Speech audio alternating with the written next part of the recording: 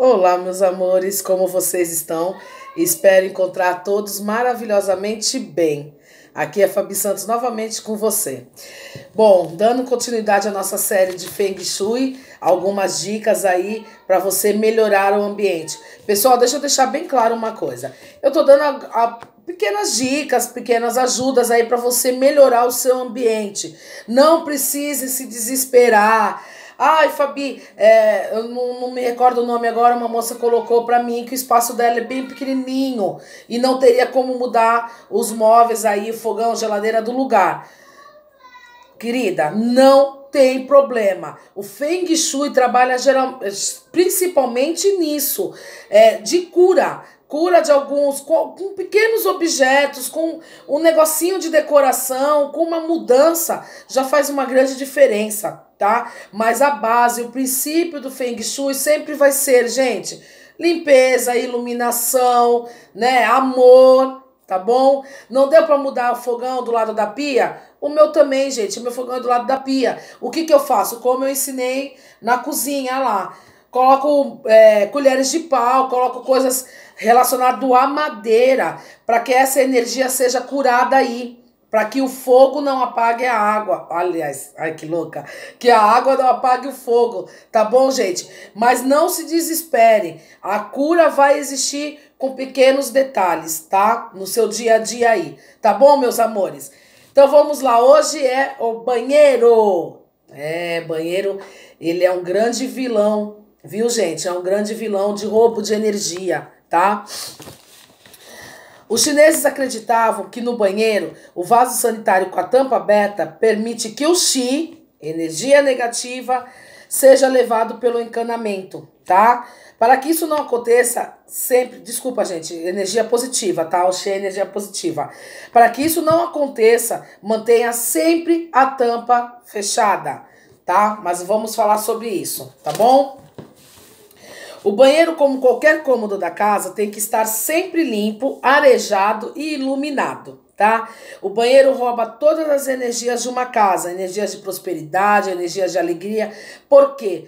Porque lá nós despejamos ali, né, os nossos processos fisiológicos e de certa forma é a sujeira do corpo, né? Então a gente tem que pensar sempre pelo lado físico da coisa e pelo lado espiritual, pelo lado do Feng Shui. Então, assim, gente, o banheiro tem que sempre estar, lógico, qualquer cômodo da casa, mas principalmente o banheiro sempre está limpo, arejado, tá? E iluminado. Ah, Fabi, meu banheiro não tem janela, não tem como entrar. Já vou explicar como que é feito isso, tá?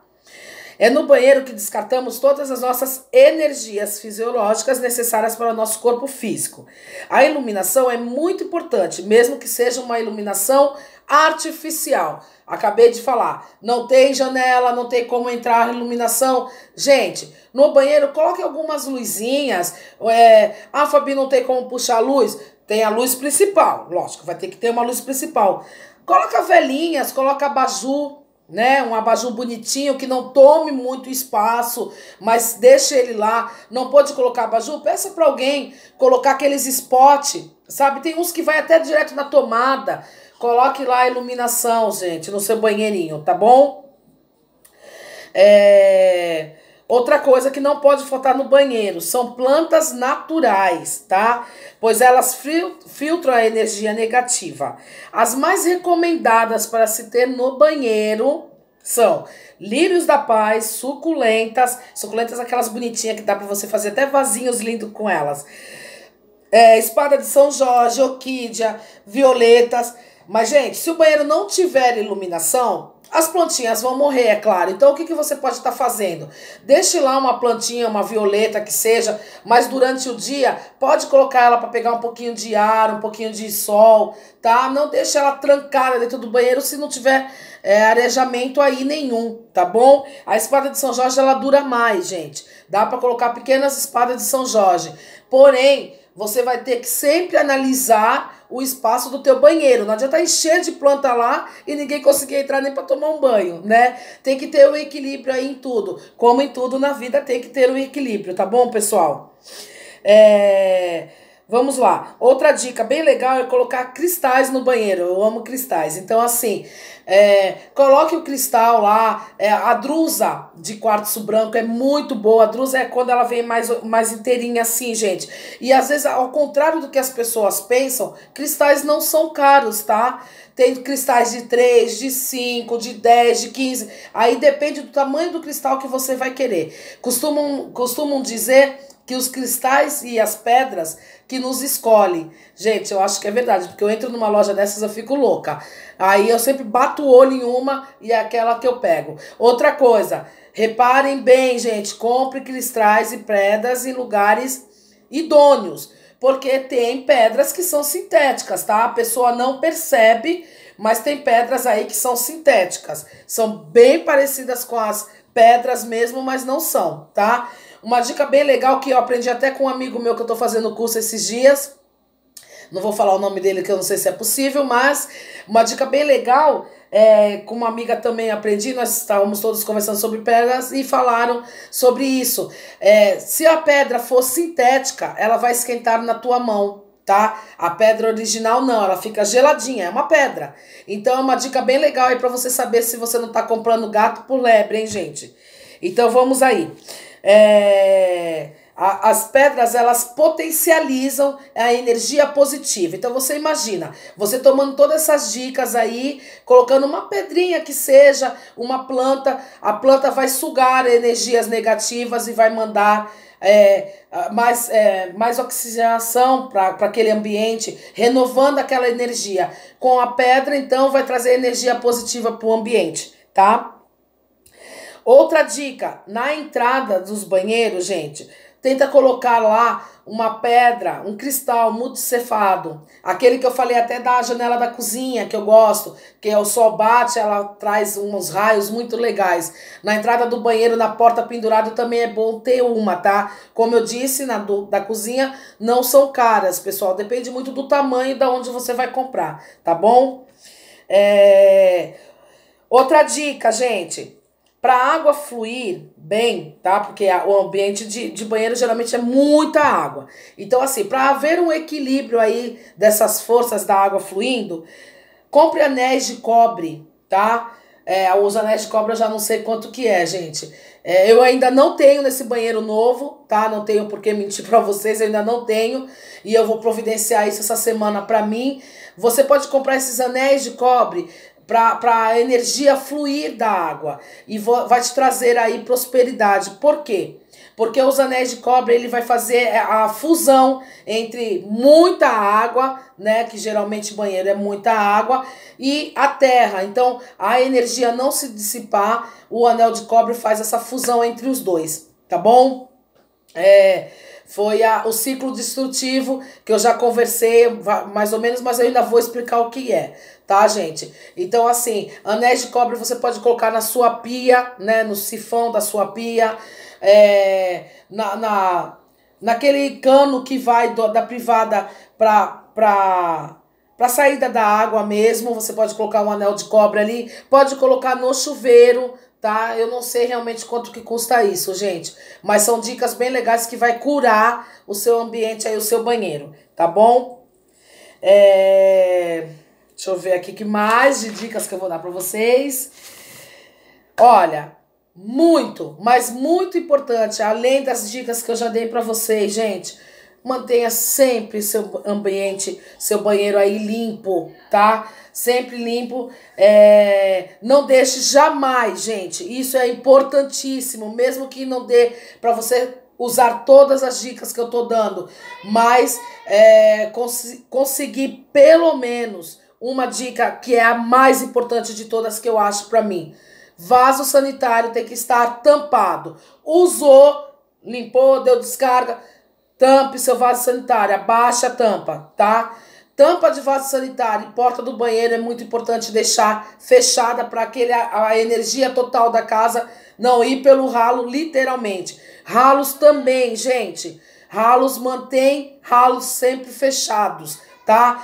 Não, não consegue tampar o ralo, põe um, um, paninho, um tapetinho, tá? Tem ralos que tem aquele negócio que você tampa ele, tem ralos que não. Então sempre põe um tapetinho, um pano de chão, seja o, o jeito que for, mas tampa esse ralo, tá? É... Bom, para que tudo isso não zere a tua prosperidade, tá bom? Para que a prosperidade da sua casa não vá embora, ok? Essas são as dicas do banheiro, gente. Dicas fáceis, simples, baratíssimas, né? Eu falei das suculentas. Opa, Fabi caiu aqui. Eu falei das suculentas e as suculentas elas são baratinhas, gente. Dá para fazer vários vasinhos, arranjinhos com ela, tá? Sempre, pessoal, sempre flores naturais tá? É, principalmente no banheiro, não use nada artificial, não é bom, tá bom, gente? Eu espero que vocês tenham gostado do vídeo de hoje. Esse foi algumas dicas aí do Feng Shui para é, a, a prosperidade, para a neutralização de energias ruins no banheiro, tá bom? Gente, deixa eu explicar rapidinho para vocês o que, que é um ciclo destrutivo de uma casa, do Feng Shui, tá? Deixa eu ver aqui onde tá que eu anotei. Vamos lá. É, tá. É, não, não, não é aqui. É rapidinho, pessoal. Eu, eu vou anotando as coisas e eu não, não acho depois. A louca, né? Ainda bem que vocês me amam, porque a tia Fabi tem horas que é perdidinha, viu, gente? Mas não menos é, companheira, não menos amiga tá? Olha, eu não tô achando aqui onde que eu anotei o ciclo destrutivo. Ah, é... Achei... Não, mas aqui ele tá bem completo. Faz o seguinte, pessoal. Eu vou anotar direitinho como que funciona o ciclo destrutivo de uma casa, tá? E depois eu passo para vocês. É mais fácil do que fazer assim, tá bom? Então eu vou ficando por aqui com esse vídeo que eu acredito que tenha sido maravilhoso para vocês. Hoje eu tô de rontas, como vocês podem ver. E tô deixando tudo cair. Eu sou estabanada, viu, gente? É assim mesmo. Mas é, com a minha responsabilidade, com a minha firmeza, com a firmeza da minha corrente de fazer o bem, de querer o bem, pro bem vir, não só para mim, para todos vocês. Continuem em orações para quem me deu os nomes, tá? Continue aí a, a passos de tartaruga, mas quem, quem quer sempre chega lá. Eu vou respondendo um a um, tá bom, gente? Desculpa aí alguma coisa, desculpa a demora pelas respostas. Eu tenho visto vídeos aí que eu tô conseguindo responder agora, vídeos que era as perguntas naquele momento eram importantes. Eu peço milhões, milhões de desculpas, tá? Mas seja de qual forma for, é, eu sei que você vai ser muito feliz, porque nascemos e vivemos nesse mundo para sermos felizes sim. Mesmo com as provações, com as expiações, nós seremos e somos muito felizes. Gratidão, gratidão, gratidão. E gratidão por todos vocês aí que me acompanham. Gente, se inscreve no canal, ativa o sininho, compartilhe, gente, compartilhe os meus vídeos para que mais pessoas possam receber aí orientações, dicas, saúde, né? Porque cuidado espiritual é saúde também. Então vamos nessa corrente do bem, ok? Beijo para todos vocês. Amo demais. Sejamos luz, sejamos paz, sejamos amor. Gratidão.